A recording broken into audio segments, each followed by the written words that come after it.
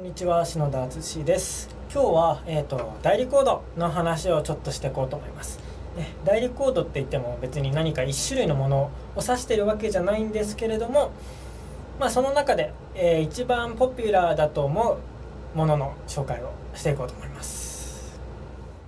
さあやっていきます、えー、トライトンサブ。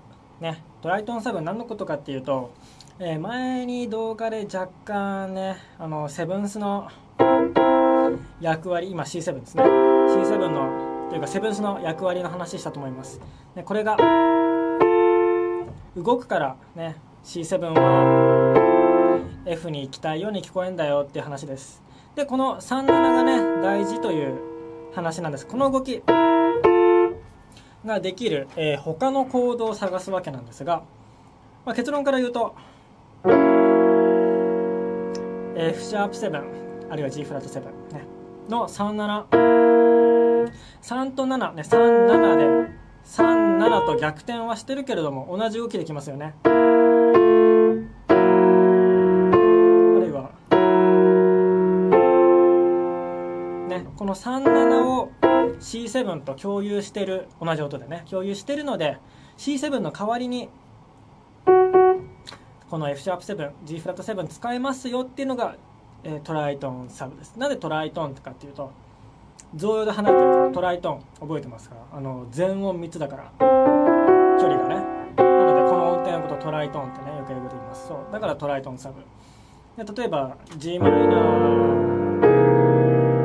C7F メジャーの時に同じボイシングね C7 だとこれオルタードですよね。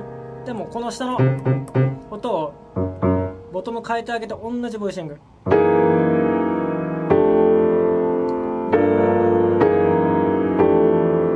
下変わっただけなんですけど。で違って聞こえますよね。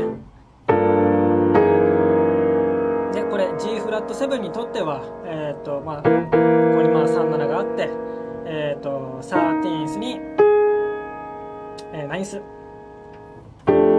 となります。ね、でまあ絶対のルールじゃないけれども C7 の時はもちろんこうナチュラルテンションオルタードテンションの選択があるんですけれども、まあ、一般的にはこのトライトンサブになっている時こうやって半音の動きになっている時っていうのはこの G フラット7側ではここでオルタードを使うっていうのはあんまりないです。あのこういう